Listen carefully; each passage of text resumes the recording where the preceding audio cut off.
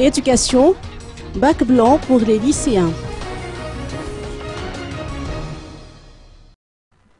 La langue malagasse a inauguré les épreuves du baccalauréat blanc qui ont commencé aujourd'hui dans les lycées publics d'Antananarive.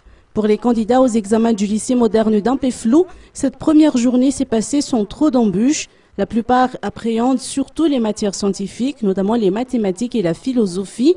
Puisqu'il s'agit d'un examen blanc, le programme des épreuves ainsi que la surveillance et les types de sujets ont été coordonnés de manière à ce que les candidats soient entraînés et préparés en vue de l'examen officiel. Ces lycéens devront passer deux examens blancs avant le jour J, a expliqué le proviseur du LMA, Nirina Razakaman.